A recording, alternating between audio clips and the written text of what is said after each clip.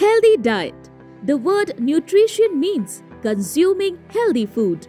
A lot of healthy food tastes good, unlike this.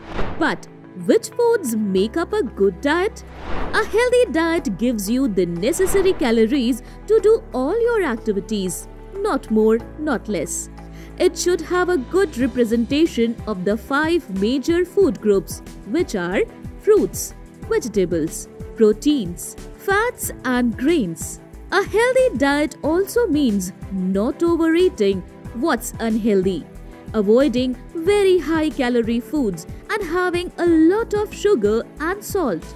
Unhealthy foods put you at risk of getting diabetes, being overweight, and lacking the energy to do things.